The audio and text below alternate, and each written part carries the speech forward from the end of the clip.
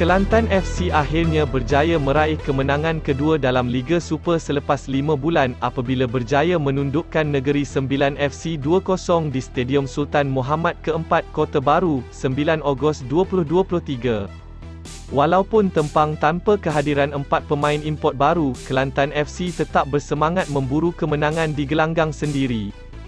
Tuan rumah tidak menunggu lama menceriakan penyokong mereka apabila Leonardo Roland menyumbat gol pertama perlawanan pada minit kedua. Gol akan diambil oleh Leonardo Roland cuba jarak keras. Siapa sangka? Siapa sangka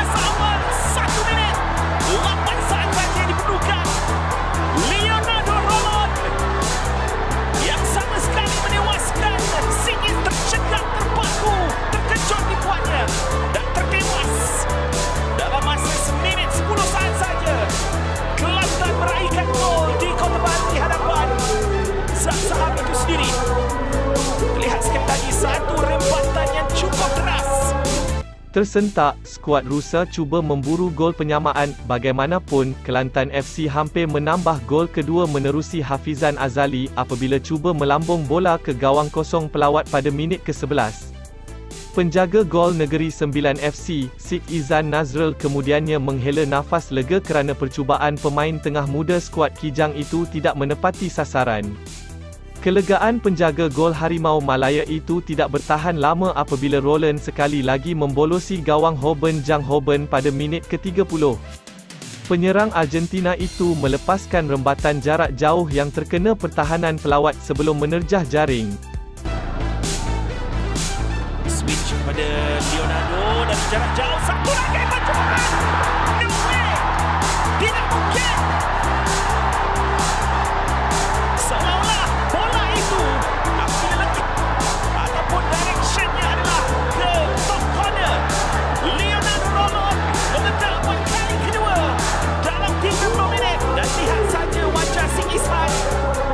yang mengetahui dia tidak berupaya untuk melakukan apa-apa untuk menafikan kualiti rempatan Bersambung pada separuh masa kedua, Negeri Sembilan FC terus bergelut mencari peluang menjaringkan gol biarpun beberapa pertukaran sudah dibuat oleh jurulatih K. Devan.